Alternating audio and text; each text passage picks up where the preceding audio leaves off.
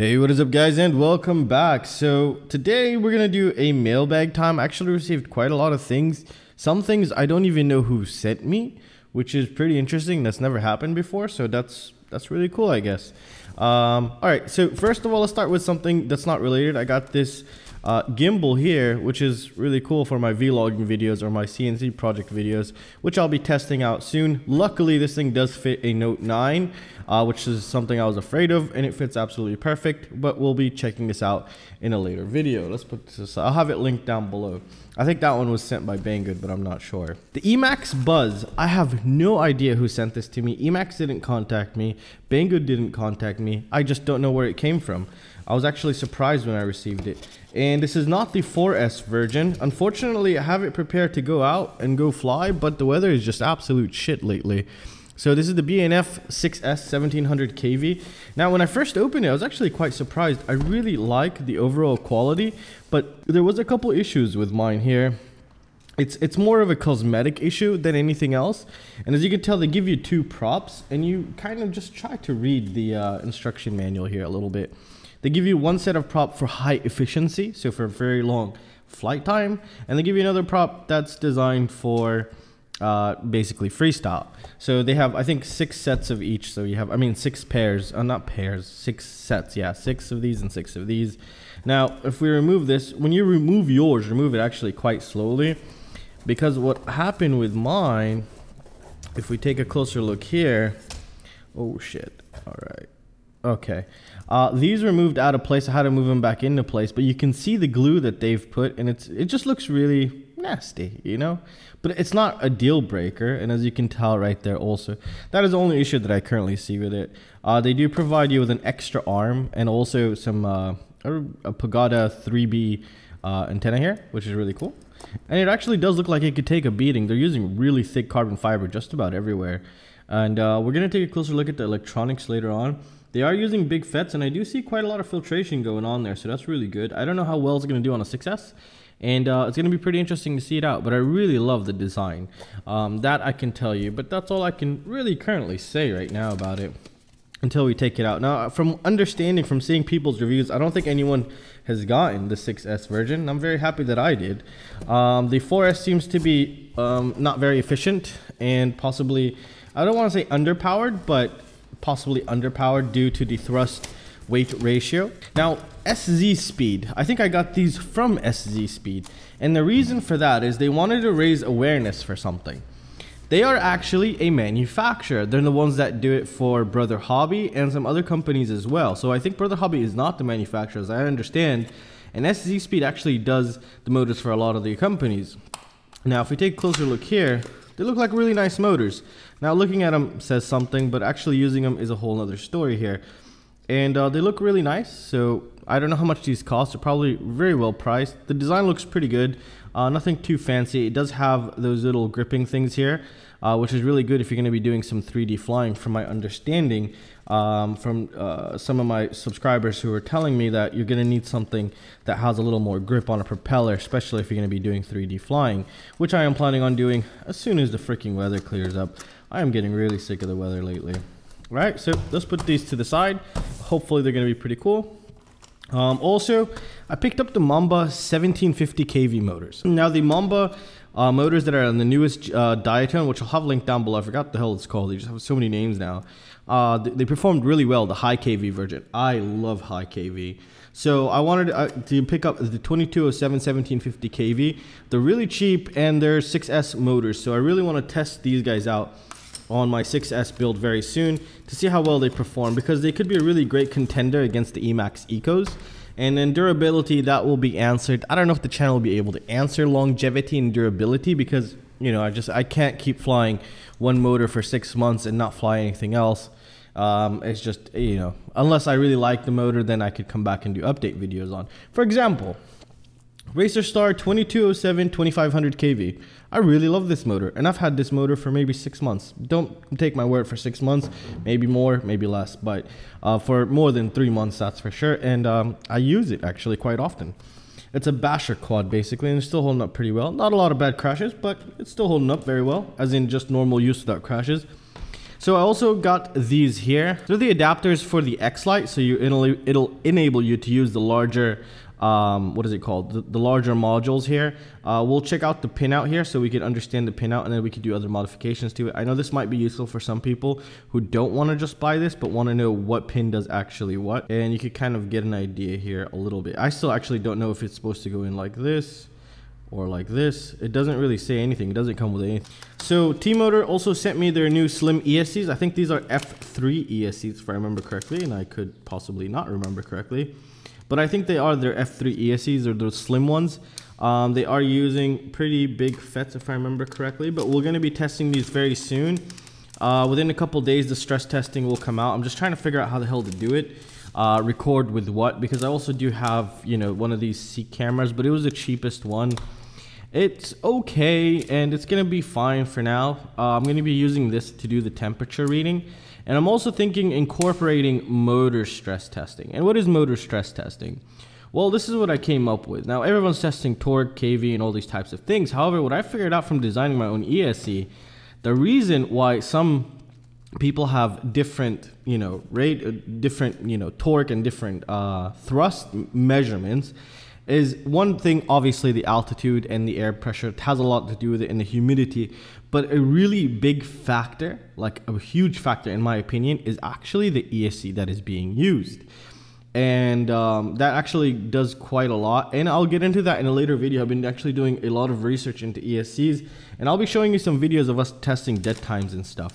And why most of the escs we're using might not be so good actually but that's still a theory of mine. That's why I'm not getting too deep into it. So these are the F3, uh, I think they're F3, the F35 amp slim ESCs up to 6S.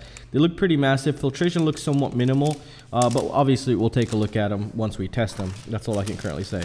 I also got these. Uh, I actually purchased these. These are the iPeaka 2 to 5S. They were like 7 bucks or 7 to 10 bucks. They have really great filtration on board with really nice ceramic capacitors. They are BLHeli32 ESCs, and um, these are just the reason why they're so cheap is because it's an older model. Nobody's really buying it, and they have a bunch of stock left over. So that's why they go super cheap, and you know it doesn't make them a bad ESC, or it possibly does. But we're gonna test them, and it, it, I think it's gonna test pretty well. It's using baby FET, so don't expect 6S out of out of this ESC. I also got the Aikon here. I, I don't know who sent this to me. It doesn't even matter because we're just going to noise test it. Um, so we got the AK3255 AMP 6S ESC. I think Aikon is working with Spedix because this looks like a Spedix design. Especially the color. Like, I don't know, just I've touched so many ESCs that sometimes just the design says a lot about the product.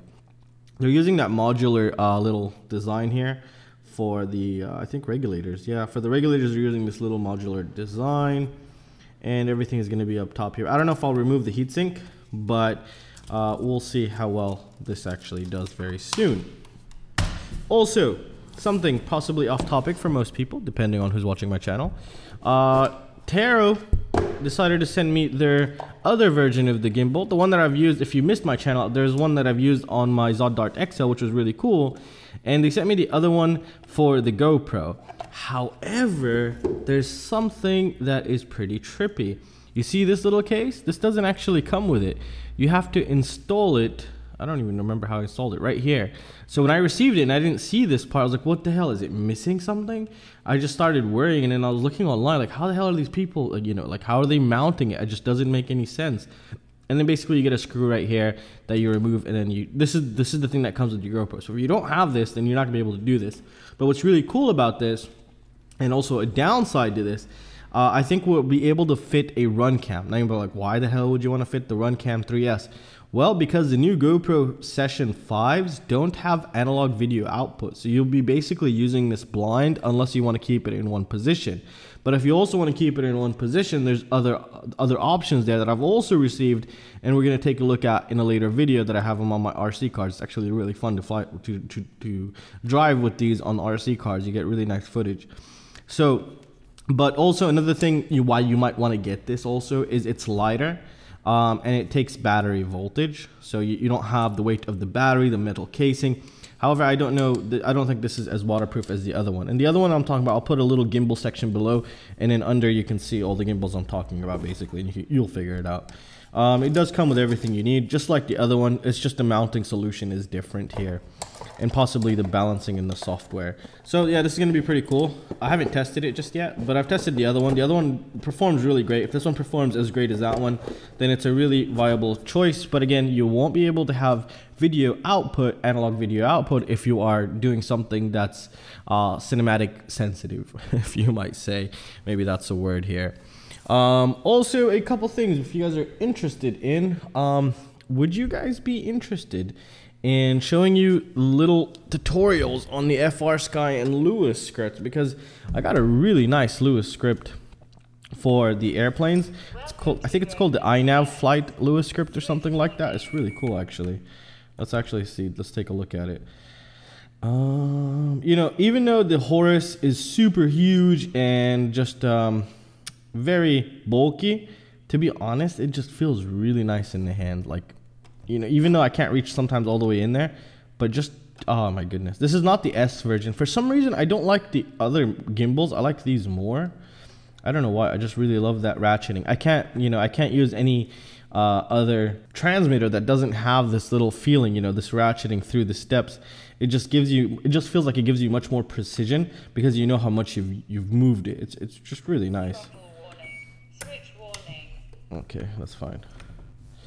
Uh, let's see how we can access this because I completely forgot. There we go. Look at that. That is super sexy. Do you see that?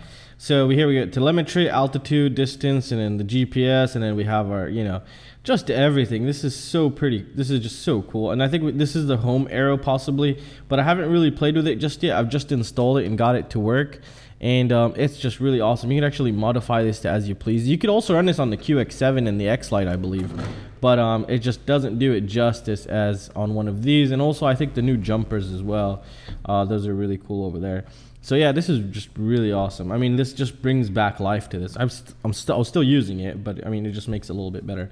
However, some of the things on this one I could have probably did a little bit different. For example, you see the handles are getting really disgustingly dirty but that's i mean that's that's fine um, because you know when you set it on the ground to do something you know it just gets dirty also your hands if you're touching a lot of carbon fiber or you just had to dig through some shit to get your quad out of it so you know yeah i would have chose a different color and also something i really don't like is that the switches are usually they get loose um, but that could be due to like any other thing. And the way that it charges is kind of stupid, but. So also talking about portable gimbals, this one right here. This one I have used the living crap out of, crashed it, banged it up. You can see that everywhere. I put it on my RC cars and this thing is just insane. So if you ever really thought about getting one of these, I'll have a link down below. You should definitely get one because I am enjoying the living crap out of it. I actually thought I broke it a couple times. I got into some pretty massive crashes, like super fast with my RC cars, where they just rolled for infinite amount of times, and this was just on top uh, with just held with a screw here. So it's a, it's a really nice um, it's a really nice gimbal. I can tell you that right now. But unfortunately, what you can't do with this is control it via your remote, but you can't control it via your phone, and it has a lot of different speeds and options, which we'll take a closer look at in another day. Unfortunately, the video didn't come out because I lost the goddamn footage, but Yep, that the shit like that happens sometimes. So I'm planning on taking this out once the weather gets clear again, and it is pretty water resistant, not waterproof. I mean, that's what they're stating. I didn't really use it in the rain, um, but I will after I release maybe the first official review. These stuff are really cool to play with because you could also modify them and make them do other things that they weren't supposed to do. Oh yeah, and also a super awesome little thing that just arrived. Ta-da! This is the this is not new actually, but this is new for me. Uh, this is the cheapest model of the RC benchmark motor thrust thrust stand thingy. This is what Engineer X uses. Now I already had the bigger one, the really expensive one. That's the one I, I've modified to run my ESC testing on, the noise testing on. However, this one is going to be slightly possibly modified uh, or just keep it as is to run uh, motor testing, stress testing. Okay, I'm not going to do, I don't know if I'll do thrust testing, but I will, I'm sure that I will do thrust testing for tiny motors. But large motors, I'm just not gonna do that. There's a lot of other people that do it. And plus my current elevation altitude just gets me some weird results that I just can't even compare to anybody. So I just don't even bother anymore. So yeah, this is gonna be modified to run micro motors and it's also possibly gonna be modified in a way to keep it safe so I don't burn it while I'm doing the stress testing. Now the stress testing is gonna be pretty simple. This is what I'm planning and I want your feedback on this. So I'm gonna have a ESC, obviously, possibly like over here somewhere, and I'm gonna have my Seek thermal imaging thingy recording so we can actually record the temperature. So it'll be taking the highest temperature of this whole area, so we can, you know, because it's gonna be very difficult for me to move while this is running. And while we're doing that, hopefully the motor doesn't get hotter than the ESC, though I never really thought about that, but we'll get into that later. Uh, then we're gonna just keep running it until the shit burns. I mean, the ESC burns, and then uh, we'll we'll see. We'll get two of them, two of each, burn them, and um, see how well they perform or how long they last. I know it's not really a, a good test, but this can give you a really great idea of how well an ESC could possibly last from heat or how well it can dissipate heat and how much current can go through it. So I think it'll give us a really nice reference. And you know, it's going to be really great also because nobody's doing this and we can see where most of the ESCs fail. And maybe some of them we can revive back, you know? We can see, oh, the FET driver broke here. And we'd also see if like the microcontroller unit burnt the pin or something. So I think it'll be a really interesting test. Now, motor stress testing, you might say, how the hell would you do that? Well, again, just full throttle until it burns. Now, what will that give you? The only thing that'll actually answer for us is how well the coating on the winding is. If some motors, these are just theoretical numbers again, because some people just take my theore theoretical numbers into real numbers, uh, but the theoretical number. So let's just say this motor burnt at uh, 50 degrees Celsius. Okay, for example, that's it, it burned. And then this motor burns at 70 degrees Celsius. And then, you know, this way you'll know that you have a better chance of the motor not burning due to heat because it could withstand a lot more heat. Because how does a motor burn? When the windings get so hot that the coating goes off and then they just short circuit and that's how you burn a motor. So, I mean, it just makes sense to test that. Durability, that's not going to test durability, but it'll test the stress testing and how much heat they can, uh, one thing, dissipate and also handle, which means which can get us a really nice representation is if, if we can uh, if if the motor is good or not. And also there's another thing that we can also possibly test, which is stall the motor, which is just hold the motor and just keep it on. See what burns first. The ESC. I have no idea how to test that part of it just yet, but it'll need a lot of burning things enable me to figure out how to do another nice test, you know, uh, for motor stall, you know, like when you crash and when you're, or when you're going through full throttle and your motor stops all of a sudden. These types of things I really want to see uh, because also the ESC might burn. But we'll just start with something simple, which is stress testing. Just run it on 100% throttle. I'm gonna need a motor that's not gonna burn on 100% throttle for a while, so we can burn the ESC.